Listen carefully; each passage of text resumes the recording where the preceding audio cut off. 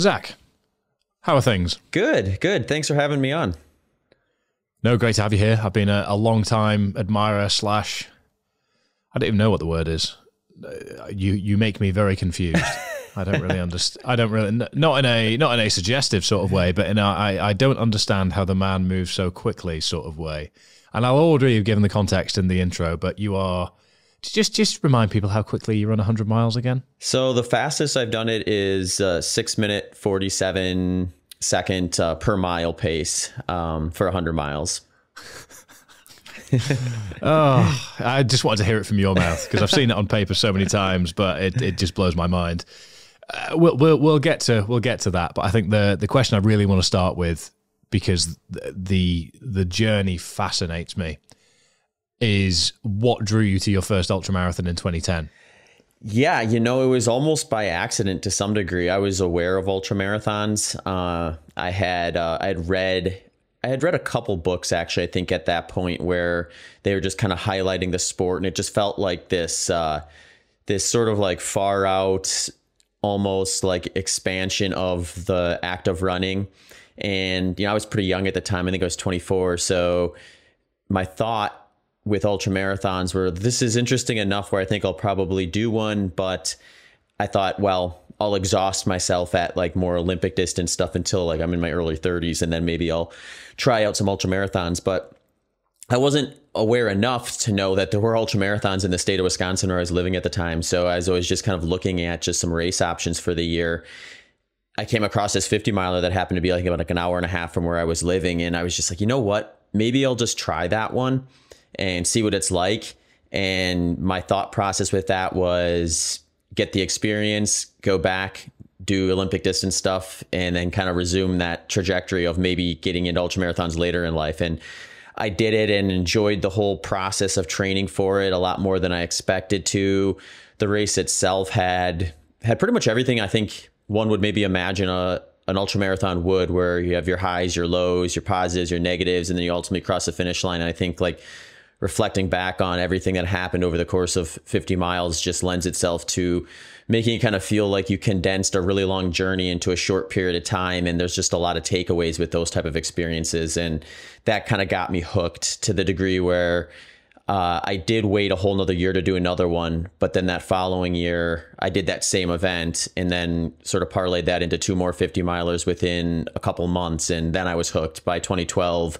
I was all in on ultra marathons and had more or less kind of put Olympic distance stuff on the, on the back burner as, um, as fun things to still do and incorporate into my training, but not necessarily be target races and started focusing on, uh, at that point in time, it was basically 50 Ks to 100 Ks, although I did end up doing my first 100 mile in 2012, also earlier than expected because I raced into it and was told I'd be an idiot not to do it. So I did it, not wanting to be an idiot.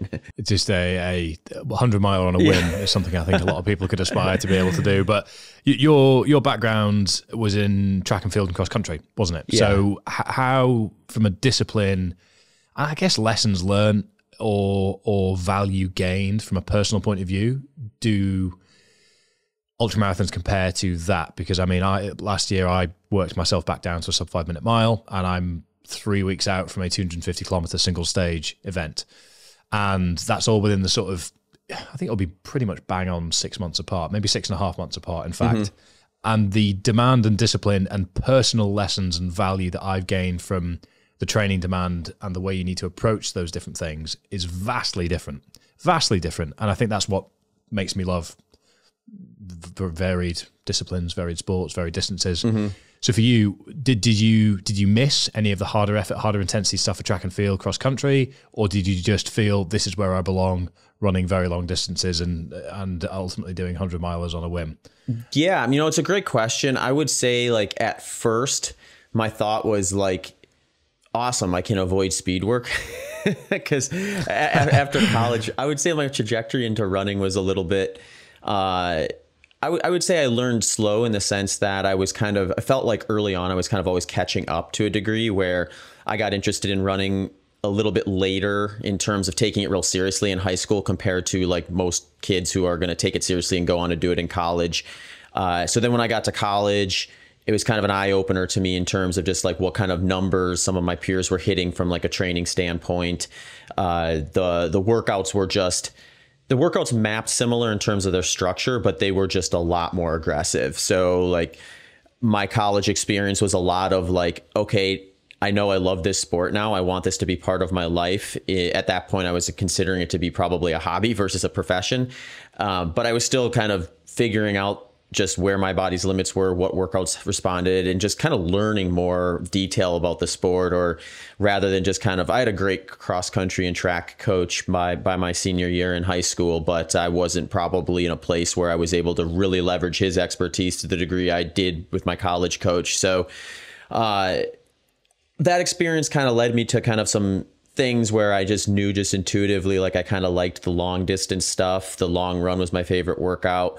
So after that, it was kind of just like, oh, cool, here's this sport that um, I can sort of lean into that. And I think I learned probably after being out of college for for a bit that the speed work component still plays an important role if you're going to try to run a fast 100 miler it just tends to be like an order of operations thing as much as anything. So like if I'm peaking for a 5k or a mile or something like that, then some of the short intervals, the stuff that's closer to like your VO2 max, um, for listeners who aren't quite into the endurance stuff, I mean, essentially your VO2 max, the more important thing there is going to be the pace that you can move at that intensity.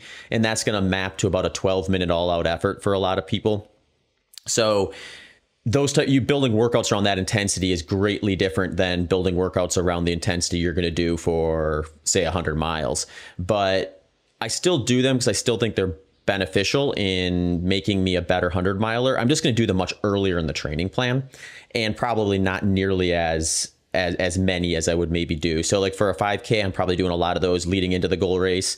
Whereas for a 100 miler, assuming I've got a strong foundation, I'm going to go through a speed work development phase and include some short intervals around that intensity quite early in the plan and then eventually pivot towards focusing most of my training load on lower intensity stuff, long run development, and that sort of stuff later in the plan as I get closer to the race itself. So um, I still get to dip my toe in that stuff. And if I'm really, really uh, dialed in. I can hop in some 5Ks and 10Ks and, you know, that sort of distance around the time I'm doing those speed work development stuff and still kind of uh, get a little bit of taste of that world. Uh, but yeah, I think I think the further I get away from speed work when I do kind of step away from it or like early in my ultra career where I kind of abandon it for a while altogether, uh, I do start to kind of miss that input. So the thing I like about it is you sort of have this cycle of variety where if you really kind of uh, reach the logical conclusion in your development in a single training block with one type of input, uh, or or yeah, one type of input, then you kind of move to the next thing or the next piece of the puzzle. So you, there's always something new kind of coming up. You don't have to necessarily be staring down the exact same thing over and over again all the time. How did you adapt to the mindset demand of ultras versus your your your background? Because I think I think that's where most people are fascinated with them, and and for me, I, it took me a long time to develop the tolerance to be able to kind of just be quite stoical and matter of fact about just taking these things on, going through the ebbs and flows.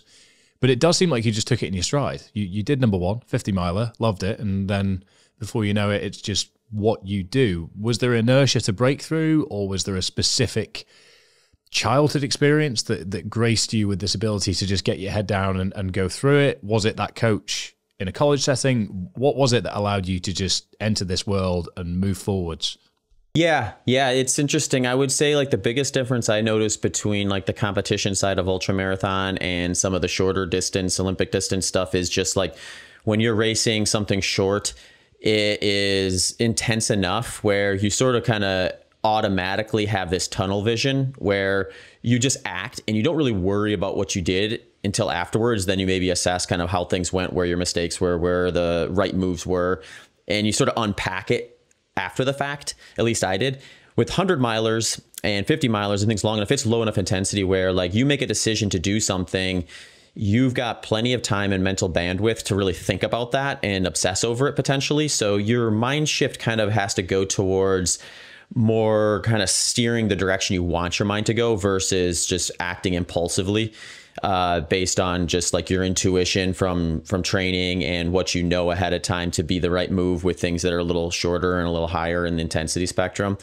And that ha- it it kind of has its positives and negatives. It's like for one, it's like it's never that painful. It's sort of just like this like low level discomfort that just doesn't go away. So in the long stuff, it's like you get to a point where it doesn't really get worse physically from my experience. It just doesn't get any better. So let's say you hit that point around mile 30 of a 100 mile, you're not like feeling miserable, but you know you're going to be dealing with relative discomfort for the next 70 miles and then it becomes a battle of how do you nutritionally, hydration and mentally kind of keep things moving at that same pace, same intensity for that long period of time. And a lot of that is basically what I like to call like this process of zooming in and zooming out. So if I'm getting to a point where I'm 30 miles into a 100 mile and I'm thinking about finishing, I need to zoom in because that's just too much to wrap my head around. I'm going to get myself kind of uh, in a position where I'm burning more mental energy than I need to be. And I need to bring that goal down to something like, well, what's the next step in this process? What do I need to do in order to just get to the next stage of this race so I can kind of take it one chunk at a time and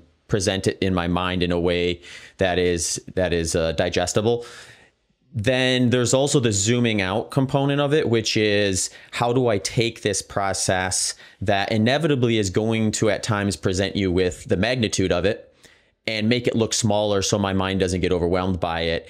And then I'll zoom out to like the entirety of things where let's say I decided six months ahead of time to do a 100 mile race.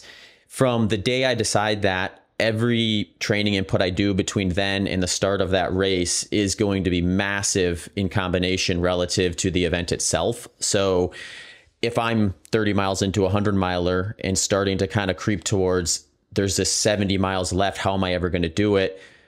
I can zoom out and think, well, I'm really most of the way there when I look at this plan as a whole. And kind of not separating the event from the process itself is key to that because if you separate the event, then you can hyper focus on its magnitude versus how small it is actually relative to everything you've done to prepare for it. What's the biggest hole you've found yourself in from a memory point of view? Is there a moment that really sticks with you where you thought, wow, that that took a lot from me to get out of that and keep moving forwards. Because I've certainly, I mean, I'm not even going to pretend to put myself in the same class as you in terms of pace when it comes to ultras, but I found myself in many holes over the years that stick with me. And that was a much slower pace. Yeah. So to be able to keep moving forwards at a relatively slow pace, but for you to keep moving forwards at 647 or there or thereabouts, are there any that have really stuck with you on record campaigns, on races that meant a lot to you? Mm-hmm anything keep you up at night?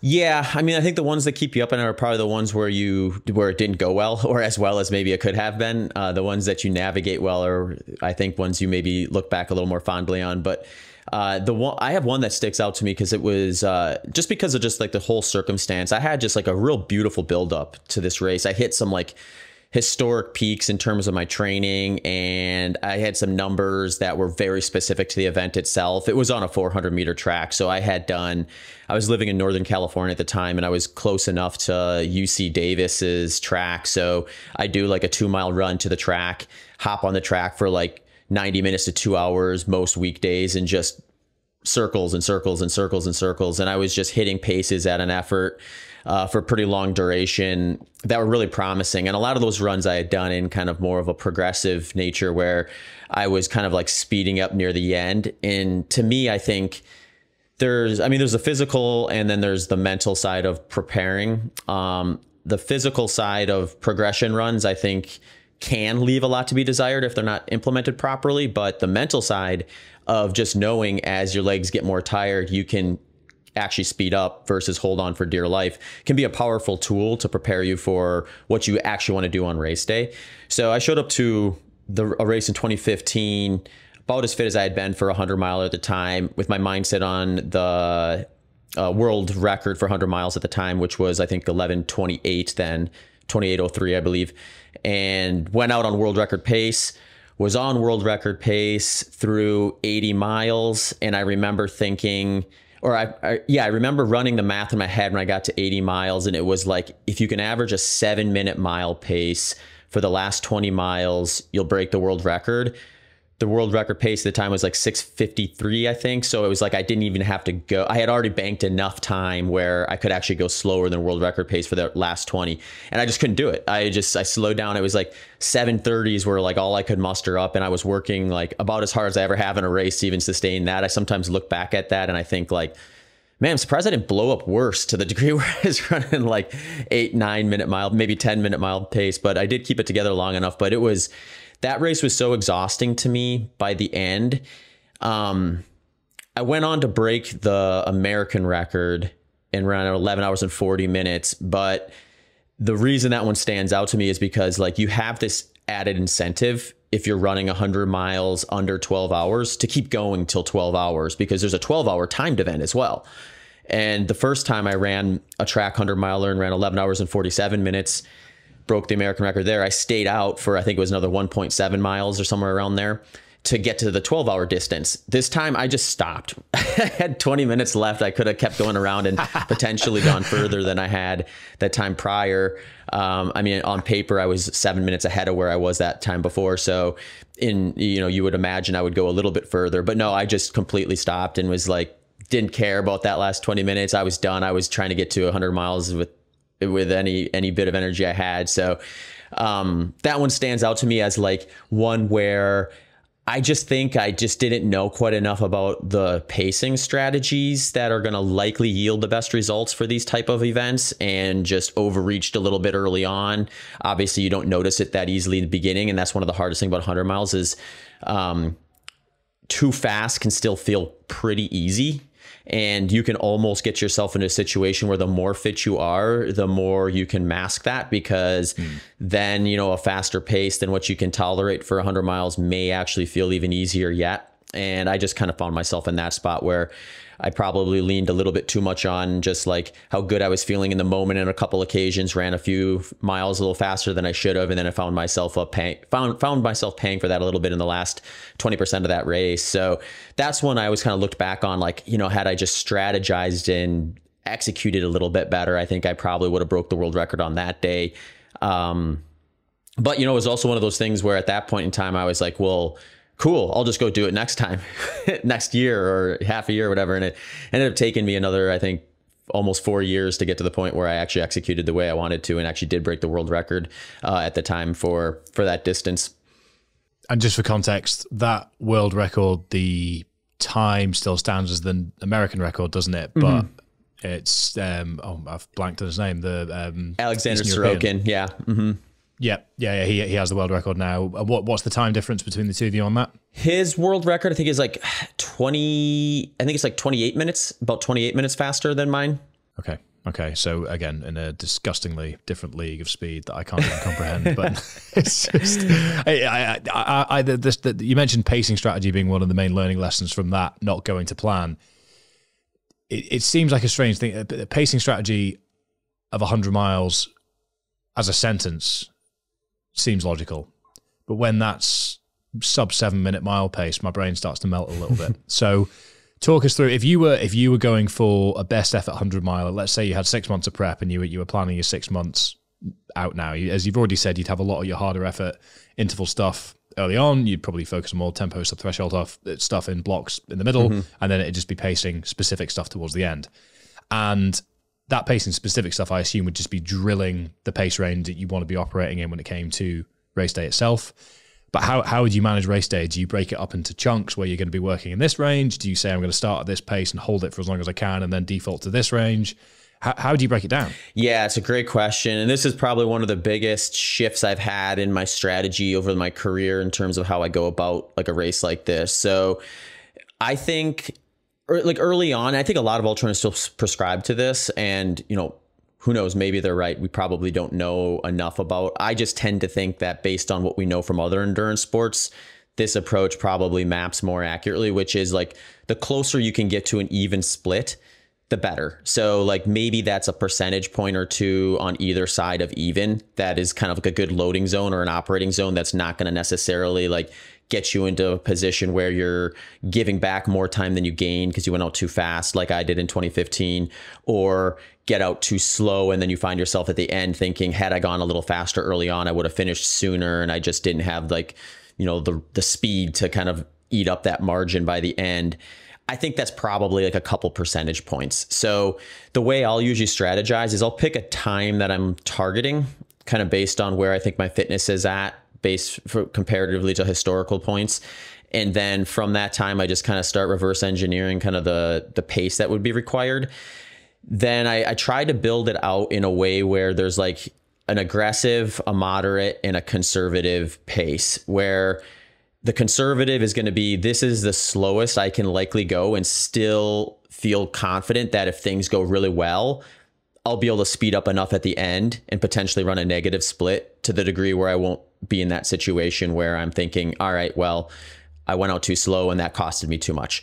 The aggressive side is going to be like, this is the fastest I can likely produce for this day. Anything faster is probably going to cost me time on the back end if I find myself running faster than this in the early stages of the race.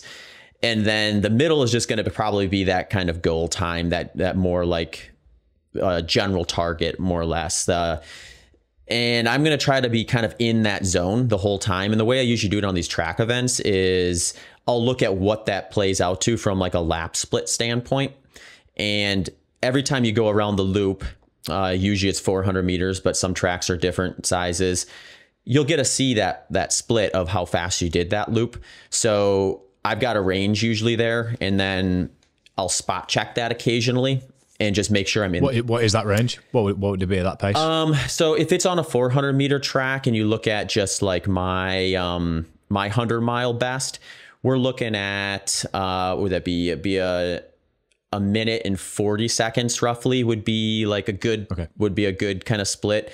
Um, my average pace of 647 is probably in terms of moving time is probably closer to 640 because you have i think when i ran that when i ran 1119 with the 647 i think i stopped three times for maybe a total of a two or three minutes and then you are on the track with people doing longer duration things so you find yourself in lane two, sometimes lane three. So you probably are running closer to, let's say, 101 plus miles at the end of the day. So from a moving pace standpoint, you have to be moving quicker than what the pace actually shows up on paper. Um, but in terms of how that gets reported to me on the race itself, it's going to be specific to the tightest part on the track. So that's the one, that's the number I'm measuring. Um, mm-hmm. Yeah. And like a minute 40 is going to get me to a spot that's going to be about a 640 minute mile pace. So I'm going to likely be like for that particular day, I was kind of building around that because that was around where I was projecting myself to be able to finish for uh, a good day. So if you saw a 137, would you inherently pull back a little bit? And conversely, if you saw a 148 that felt like the same rate of perceived exertion as a 140 should, you'd then start to to think ahead and plan ahead as to how you were going to manage the rest of the strategy based on how far you had it, uh, how far you had remaining. Yeah, and and yeah, that's that's exactly how it works. And like the way I look at it is like the easy one to course correct is when you're going too fast because you just slow down. When you're going too slow yeah. and the effort, but the effort feels appropriate or maybe even aggressive, you have to ask yourself, did I mismanage my goals? And if I mismanage my goals, is putting myself back within that operating zone going to actually do the thing I'm trying to avoid, which is running slower than I anticipated. So that's always kind of like the bit of uh, uncertainty because we are, you know, I've done these before, so I have some precedent. I've got, I've had really good training buildups and I've been able to map them to a degree where like I can probably expect to be in a specific fitness state where I can rule out a certain pace being too aggressive versus appropriate. And narrow down like how much thought I have to give if I'm actually overshooting or not. But at the end of the day, you're always a different person when you step on a start line from the time before and you are reaching back to prior experiences. So there is that little bit of doubt when you find yourself running slow as to whether you're just in a low patch that you need to get out of or you're overshooting your your potential. So from an ego point of view, what point if if you knew you're off the mark, if you if you were setting setting out on a track to run 100 miles and you were at mile 21, and between mile 21 and 24, you consistently were seeing 148s, 149s, even though you felt like the effort level was where you'd expect it to be, with that equating to about 140s. At what point would you accept that it's diminishing returns beyond that point and call it there? And at what point would you say, you know what, I think I can push on and this this effort level might level out? Obviously, that comes with experience, which you have an awful lot of. So, how do you manage your expectations within the context of, I guess, just one of those days, or as you said, where you've mismanaged your goals, or maybe just something hasn't gone your way the the, the last few days ahead of time? Where do you where do you draw the line from a ego point of view in those situations? Yeah, it's a good question. I find that like there's a few different perspectives with this. Um, I mean, there's people in the sport who are like, they'll call them death before DNF, where they're not going to drop out no matter what. So whether they're having a good day or a bad day, they're going to find their way to that finish line, whether they're dragging themselves in or running in, uh, you know, at a sprint. So I don't prescribe to that. I think, um, I think there are situations where it's like getting to the finish line is very much the one of the top goals, and you should, you know, persevere no matter what. But then there's times where like you're better off just saying, "Hey, today's not my day. I'm going to, you know, salvage what's left so that I can get back on the horse sooner and take another crack at it." Um the track, I think it lends itself, it gets tricky because the track does lend itself to a situation where, hey, maybe I'm not having a great day. Where's the big win on me staying out here on this super controlled, monotonous, boring environment when you know, maybe I can just get back on one again a few months down the road and remedy what went wrong that led me to this. Um, versus say like if I'm doing the Western States 100 where I don't know that I'll ever get back into that event, you know, so I, I tend to look at them sort of like that. The hard part with it is on a track. One thing I'd have noticed is one of the biggest differences between these short loop controlled events versus these more scenic trail races is when you do have a bad patch, whether it be mentally or physically, it tends to spiral really, really quickly. So, like, you can easily find yourself in a situation where you hit a little bit of a rough patch, which is going to happen, and you over you overemphasize how bad that is, and then it starts to unravel, and you call it early. I've done that before too, where I probably could have stuck it out a little longer, salvaged the day, and ran maybe not my fastest time, but a very respectable time. Um, and then there's been times where I've just like said, "All right, calm down." just let's get comfortable for maybe a mile or two, take whatever hit that presents, and then just see what comes on the other end. Maybe things will turn on. Maybe it's just a low patch, and then two miles later, I'll be on the fast end of the range feeling infinitely better than I just did before. That happens as well. So I think like as I've done more of these and kind of learn kind of how those type of things present themselves, I've started to recognize spots that I should ignore and spots where I should take it a little more seriously. Um, so like earlier on in the race, I'm a little more inclined to think like, all right, this is probably mental, a little bit of a low patch. I should probably assess whether I'm hitting my fueling strategy, my hydration strategy properly, and just get back on pace and see how that feels.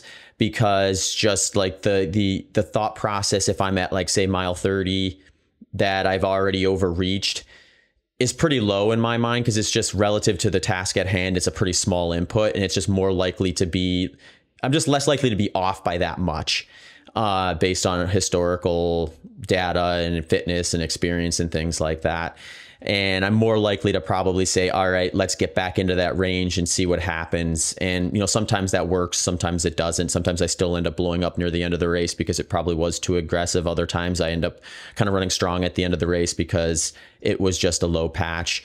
Um, so to some degree, I consider that kind of part of the game, part of the process. Hmm. And, the more of them you do, the more you kind of get yourself into a situation where like you've had experiences where you hit a low point where in the past you would have been like, oh, here's the spot where I start falling apart. And then you do to, oh, I now know that I've pushed through that specific spot in the race. And that if I can do that mentally and physically, I'll come out the other end and potentially have one of my better performances. So you sort of raise the bar on yourself in terms of how many times you can kind of push through those points and find yourself on the other side. And it can become like a continual building process of like where are your limits actually in terms of how that all plays out. Um but yeah i mean and, and then different events will present a little differently too. Like when i actually broke the world record at one point i was at that spot. I had had a, i actually was peaking for a different race that year and just the uniqueness of this particular event drew me to it. but I was, I think it was like mile 40. I was in a situation where I had those doubts. I was like kind of falling to falling out the slow end of the, the pace range. And I thought to myself, well, this wasn't my A race originally. Maybe I should just kind of like accept a slower pace for the day, run a reasonably fast time, use it as a good uh, long training session for this next event, and then you know go there and, and nail that. But then I, before I made that decision, I just kind of like reflected on just the uniqueness of that particular event. And at the time, it wasn't a guarantee that that one would ever happen again. So it's like I may never find a situation quite like this. Uh, so I'm like, well, I need to give myself a little bit more of a chance here, given those scenarios. So the fact that it wasn't something I was going to be able to replicate from an environment standpoint again in the future kind of kept me more motivated to keep trying. So I just ran like kind of the splits through my head of what I needed to do from 40 to 50 and then 50 to 100K to kind of like stay where I wanted to be. And got back on kind of the the positive focus standpoint and ended up hitting those 50 mile and 100k splits a little bit faster than I projected. So then I kind of spun that around and then just like it can get negative really quickly, it can get positive too. So knowing that like if you make a quick decision to change things and it ends up being the right call, you can get into a positive headspace really fast as well too because you've got all this immediate feedback that you're doing it right. You know, it's like the uniqueness of being on a, a track that controlled is every split is very clear as to whether you're slowing or speeding up because nothing changed. And this particular event, it was actually climate control too, because it was indoors, and that was the uniqueness of it. So I knew that there was nothing, not the weather, not the course, nothing was changing my pace other than me. So then, like when I got back on and the effort started to normalize a little bit, you know, it was just such a positive kind of thing that kept spiraling in that direction for the remainder of that day for the most part.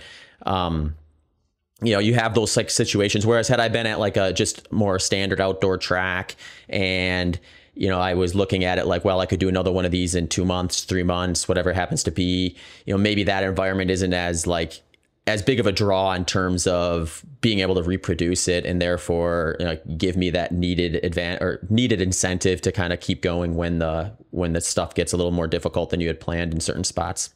Have you ever had any help from a mental performance coaching or uh, mentoring or e even from a psychological point of view to actually equip yourself with these techniques to be able to process and compartmentalize on the move whilst striving for high performance, or has this all been learned through the process of ultra running and unpacking it yourself? Yeah, yeah. For the most part, it's just kind of been through the own my own experience. Um, you know, I'm very curious in general, so like.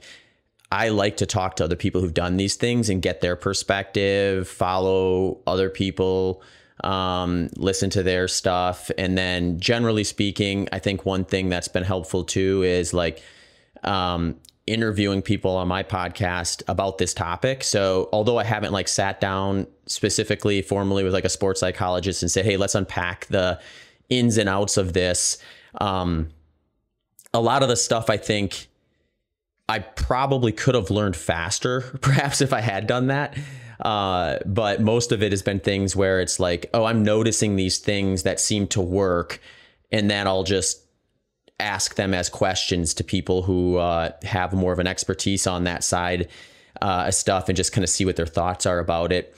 Because um, there's probably going to be some things where it's generalizable from just like a kind of sports psychology standpoint. And then there's going to be things that are maybe a little more unique to this type of discipline that you're going to kind of have to experience to really know and recognize.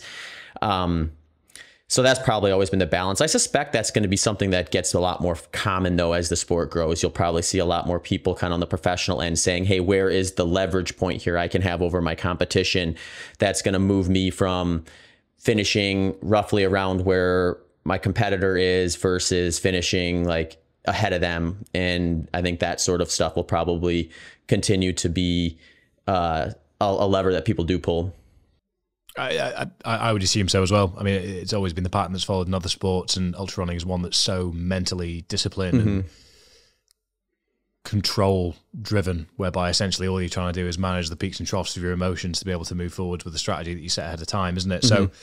So, uh, uh, something I'm really curious about is I've I've never run an ultra on a track. I've run long distances on a track before, and I've done many many loops of tracks in my time Too many last year, in fact, but not nearly as many as you. So I'm complaining to the wrong person. Um, no, no, normally, I can say that in good company and think, "Wow, yeah, I've run a lot, a lot of laps on the track." But no, The waste wasted on you, Zach. but the the real question I have is is I get a huge amount from what what I love about ultra running is the exploration side mm-hmm. of it and the immersion in nature and different environments and the sort of state of mind you find yourself in when you're operating aerobically rather than anaerobically that, that comes with these events. So for you, how does the enjoyment and fulfillment vary when it comes to performance and metric driven ultra running on a track versus trail or more A to B style stuff because mm-hmm. they're very very different but all, all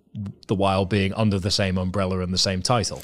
Yeah. Yeah, this is something where I think it's been a very important piece to the puzzle for me personally.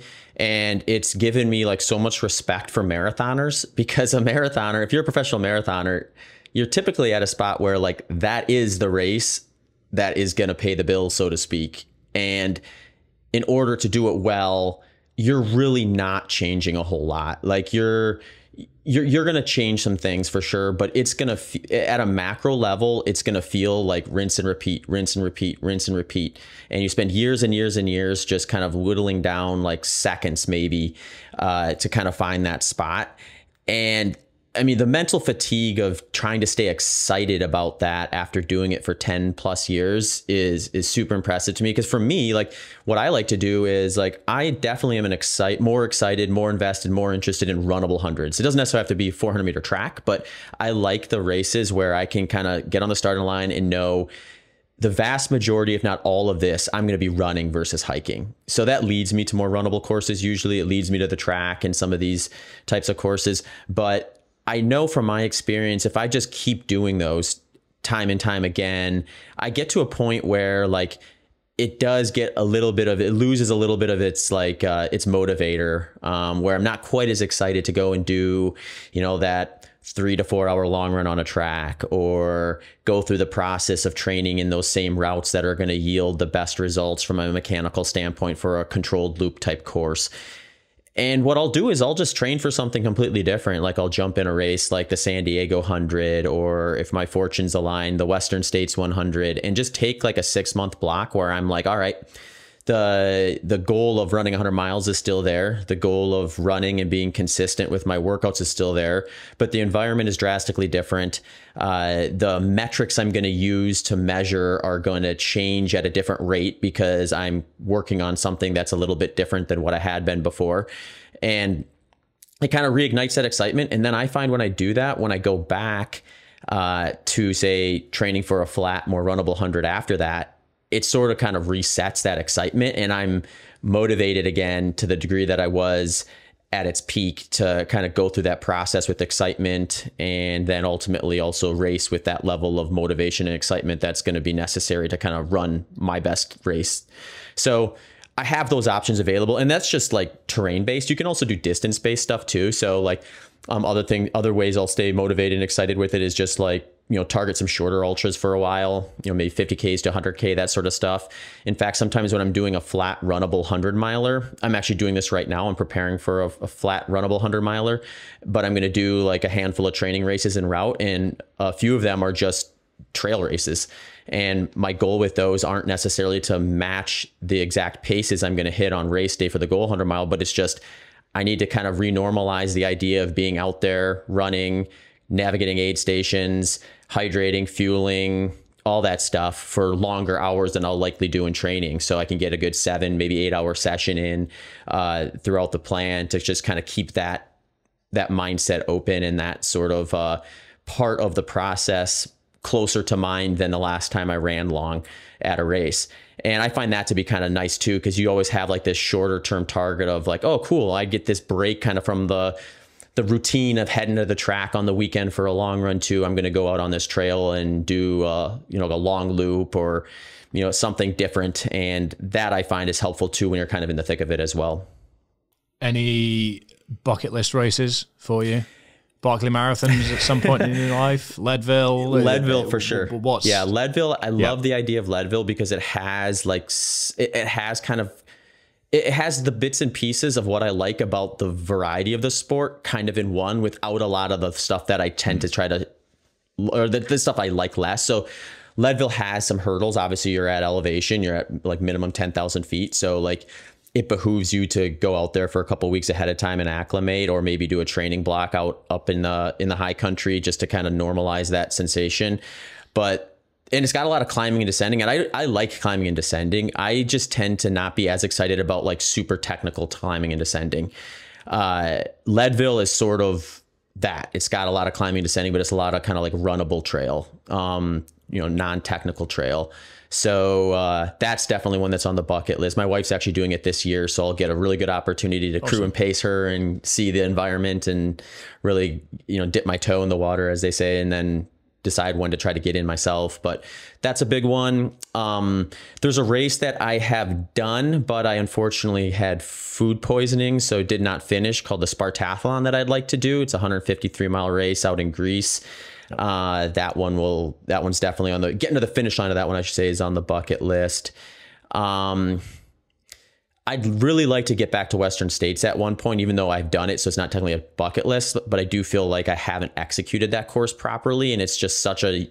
I really like the way that course is set up, just the way that it sort of like teases out the different types of runners, being that like you start the first third is basically up in the high country uh, mountain trail. Then you go through this series of canyons, which are unique in and of themselves. And then the last third or so is like just kind of runnable, slightly downhill for the most part trail. So you sort of can't be so good at one of those disciplines that it comes at a big, a big expense of the others. Uh, and it kind of favors that person who is like good at all three of those or can at least know which one their strength is and which one of their weaknesses so they lean into the right sections of the course at the right time um, and it just offers a ton of competition too. So it's always fun, fun one to get into because you just know you're going to be running with other people and, and really kind of getting that extra incentive of if I slow down, someone's going to pass me. And if I speed up, I'm probably going to pass somebody. Well, if you uh, ever want to come over and run the West Highland Way in Scotland, which is 96 miles, yeah. I will happily drive the car because I will not be able to keep up. Right on. Yeah. No, I need to get out to the UK I, and do some racing it's uh, it's a core component of what I've got coming up at the end of March. So I've been wrecking it the past couple of weeks, and it is a stunning, beautiful setting that I'm very proud to be able to be nearby. Um, but the race every year is is very competitive and got some some very good results. So I would love for you to rock up and just decimate those with high hopes. Yeah. That'd be awesome. I, am sure. Oh, I'm feeling feeling good about this this this race. I'm from from this part of Scotland. I know the Trath well. That Zach Bitter. Oh my goodness. Okay. Okay. That's. Uh, do you know the but, Centurion running folks out your way? Uh, no, not personally. Okay. Not personally, but there's yeah, there's some, I mean, there's some brilliant, brilliant events out here. Um, a lot of them are quite sadistic in the way they're put together. Um, yeah, I mean, there's the uh, I did the double brutal extreme triathlon in 2022, which is literally a lap format Ironman in an extreme setting. Have you heard of the X XTRI World yeah. Tour? Mm-hmm. It's it, yeah, so it's that that style of race. It's not actually part of that that group, but yeah. So cold cold swimming, very very hilly bike and the run involves a mountain, and then brutal events. Who unfortunately are are closing shop at the end of the year just due to uptake. So they've been running for many many years, but it just doesn't work commercially anymore. Um, there is a real challenge with that in the UK. Actually, is is, is the commerciality of events companies are are struggling a bit to put to put things on effectively for the costs required mm with these balance of signups required. Yeah. Um, I don't know what the economics of it is or what the data is on demographics and things, but um, yeah, it's sad to see there's some some long-standing iconic races disappearing. Yeah. Um, but given I've done the double brutal, i am glad I've boxed it off. But I am kind of strangely sentimentally sad that at some point I couldn't make the silly decision if I wanted to to do the triple. yeah, that is interesting. I know it's uh, it's always. I mean, I've been in the sport I guess long enough now where I have seen kind of like phases where you know races have to close up shop because of one reason or the other. Um, here in the United States, I feel like it's more been growing than anything, just because of the popularity of the sport, and then just non-traditional people to ultra running are starting to come into it now as like a challenge of some sorts. Um, a lot of hybrid athletes and you know like different communities that would maybe otherwise not necessarily find it have been finding it. So you still have the challenge though, where um, I'll see like a race organization that has a bunch of races, and when you really dig into the details, it's like, oh, you've got let's say 10 races, but only really two of these make you any money. So it's like those 2 mm-hmm. events are holding the whole operation up. And then it's like, how do they nurture those other ones so that there's still options available for people outside of those two main ones, but don't like draw the whole ship down, as they say, and uh, make the whole organization kind of fail. So, um, yeah, it's uh, it's a tough one. I don't envy the RDs day to day. No, no, me neither. Me neither. But I, I, I empathise with them out of the, the challenge of navigating the, the market and everything considered. Mm-hmm. Um, but on that, with the rise of popularity, I mean, it, it's still the popularity is increasing for sure. I mean, with our coaching business, the amount of people that come to us wanting to do their first ultra, mm-hmm. coming from a rugby playing yeah. background or a strength training background, is is is on the up, hundred percent. And I, it, it, of course, it is all over the world in that space. But I personally believe, and you can agree or disagree with me on this one that if somebody is able bodied to do so, there is value for everybody to extract from doing an ultra marathon at some point. Mm-hmm.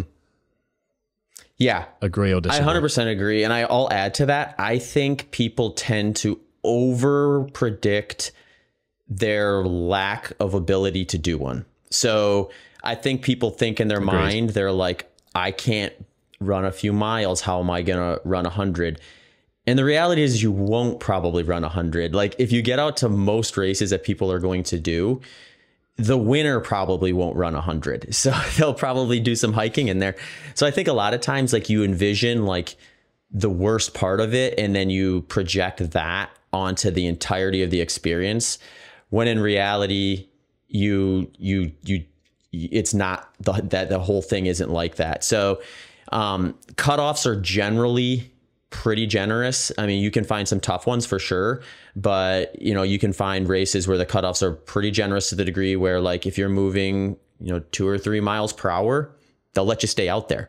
So like you have a lot of flexibility in terms of like getting to that finish line if that's your goal. And like you said, like the experience of starting a long ultra marathon and getting to the finish line there's a lot of similarities in like the takeaways, the lessons, the things that you you actually use from that experience to better everything else that are just as true to the last person finishing as it is the first person finishing. Um, and I think it's just like the number of things I've mapped into my own things in life outside of running from the process of training and navigating races and things like that are essentially endless at this point in time. So I always think about like, you know, how do you get people that experience so they can start seeing that process and really kind of considering how do I use this sort of framework to, you know, better my business, better, you know, my organization on something else, or even just like getting yourself better prepared for a, a different hobby or interest that you have down the road. I think there's a lot of a lot of value adds there if somebody's listening that thinks, wow, I'd love to do an ultra at some point, that sounds like there's so much value for me to extract but I wouldn't know where to begin mm-hmm. or I could never do that. What would you say to them? Yeah. Um, I would say like if someone's interested in kind of like getting into it, it's like it's like most things, knowledge is going to be power. So like diving into just like the community as a whole, there's a lot of like people who are willing to share their experiences, a lot of like groups and things like that, um, coaching services and things like that that will help you navigate. I would say like of the coaching clients I get, like a lot of them, they come to me for that very reason. They're like, they've gotten to the point where they're like, okay, I saw my buddy do this and I know if he can do it, I can do it, or if she can do it, I can do it kind of a mentality. And then they're just like, I just need to know what steps to take when. And I think that's where like having some programming is probably helpful for people so that they're not making mistakes that are very preventable, uh, especially early on and then you can kind of look at it. I like to look at it too is like I've got, I'll get coaching clients sometimes where they very much want to work with me for a long period of time, even when they start knowing what I'm going to prescribe for them. For the most part, they like the accountability of having someone else kind of chatting about it along the way and giving them the schedule and holding them accountable. But then I've got people who are look at it as kind of like a course where it's like, hey, I'm going to work with you for a training buildup or two, invest the money into that. And then after that, I'll have the scaffolding required to kind of just n- at least eliminate the low hanging fruit mistakes that I would make on my own. And I think those are, those are usually good, uh, good starting points for people. Find some groups too. Uh, there's a lot of running groups, and nowadays with the rise in ultra running, there's usually some ultra runners in there that you can kind of chat with and get a get an idea of kind of what worked for them, what didn't work for them, and stuff like that. Podcasts are huge. There's all sorts of good running related, ultra marathon specific training and nutrition and hydration type podcasts out there that will be kind of helpful for kind of learning the lay of land and stuff like that. Um, but yeah, I think approaching it, I think the value of the hundred or ultra marathon too is like there's things we know just from like reasonably accurate extrapolations from what we know about just physiology and human performance and things like that.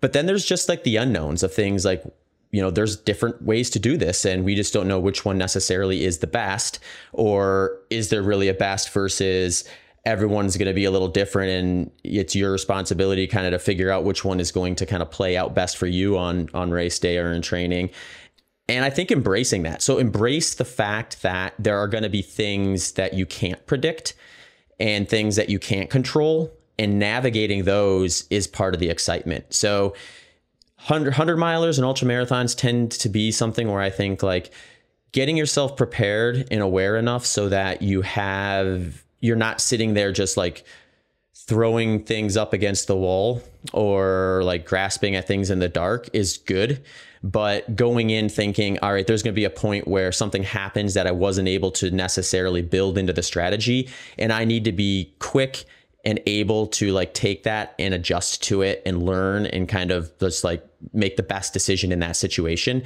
And embracing that, I think, is important because if you think perfection is going to happen, then you're likely going to hit a spot where it's clear to you that that's not the case. And if you think that that's the end of your day, then you might have a frustrating experience versus knowing something you can't predict is going to happen.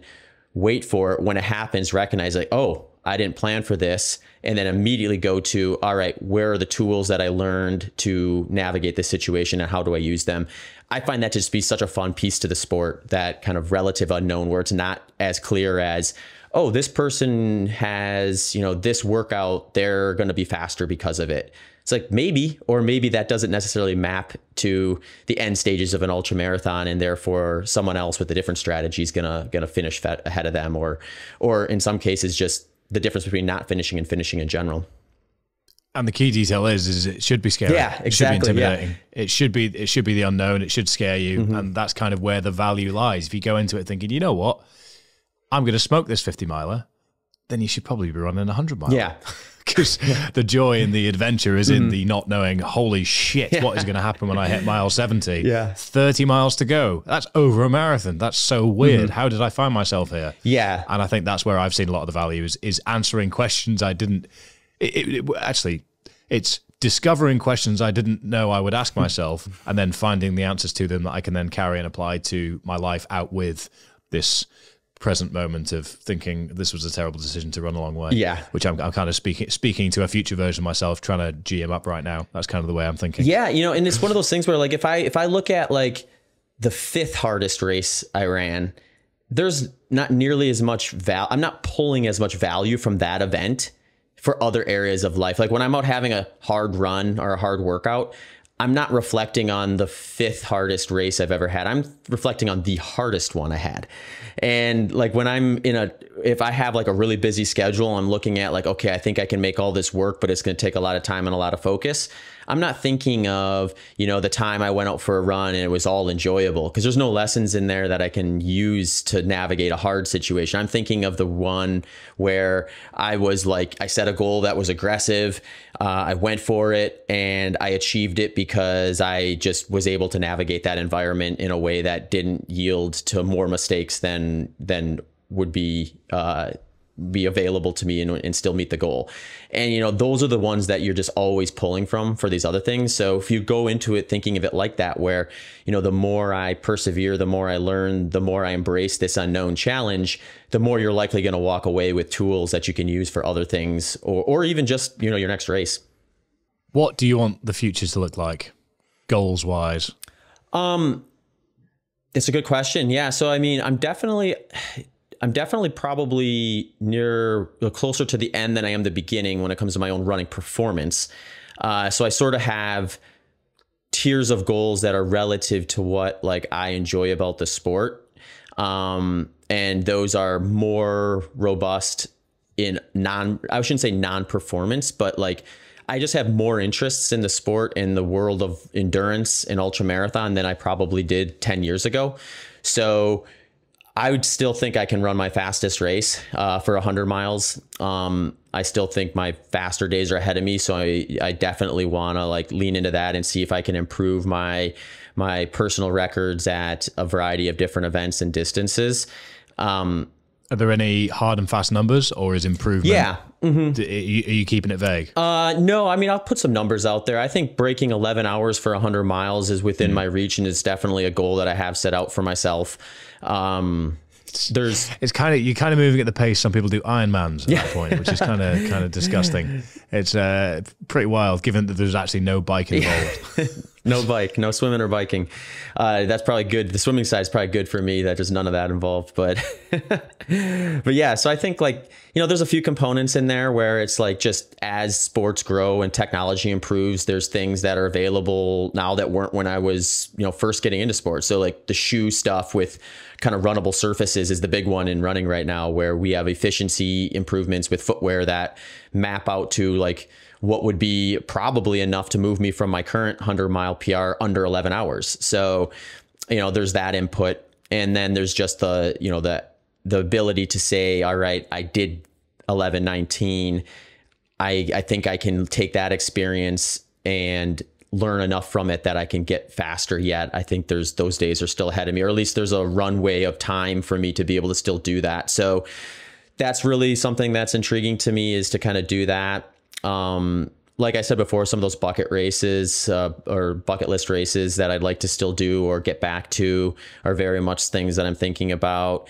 Um, if we're looking at the performance side of things, uh, there's a huge project I, I want to do at some point that I was supposed to do earlier in my career, but I had got an injury in preparation, unfortunately, which is a transcontinental run where you run from uh, San Francisco to New York. It's like roughly 3,000 miles.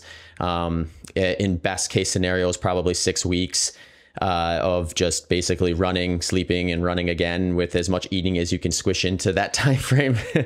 um, that's something I have on my uh, kind of long term list of things to do while while I'm still kind of interested in kind of the competitive side of, of, of running. You know, outside of that, I think it's like I think the sport's going to continue to grow, and I think it's going to grow exponentially over the next decade. So, like continuing to build resources for other people so that they can like we were talking about before, have some structure in place that when they decide, hey, I'd like to do one of these things, where do I start? It's not difficult for them to find those sort of things. So whether that be like, you know, coaching offering podcast episodes, social media content that kind of helps people navigate some of those things are things that I'm I'm definitely thinking about now and hoping to kind of continue to um, dial in and uh, produce for for people coming into the sport and, and learning it and trying it out for the first time.